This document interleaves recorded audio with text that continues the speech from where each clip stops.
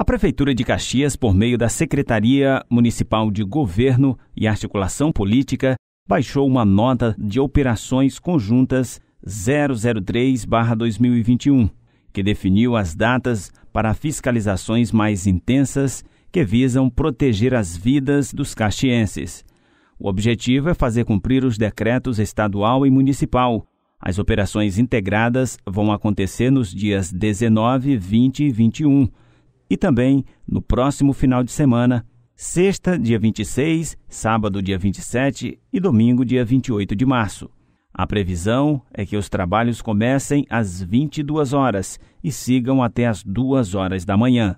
É, nós, as outras secretarias e a sociedade caxiense precisamos auxiliar para que a estrutura do município de Caxias consiga suportar a demanda. E para isso é necessário fazer a fiscalização, intensificar, intensificar a fiscalização e também a conscientização.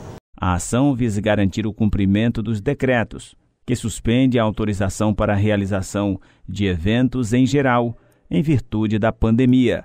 Caso seja verificado algum descumprimento, caberá à autoridade policial agir com as medidas pertinentes. Será realizada durante todo o período desse decreto, que vai esse final de semana agora, começando na sexta-feira, sexta, sábado e domingo, e no, no, próximo final de semana também, e é coordenada pela Vigilância Sanitária, com o apoio da Polícia Militar, o Corpo de Bombeiro, a Guarda Municipal e a Secretaria Municipal de Meio Ambiente também.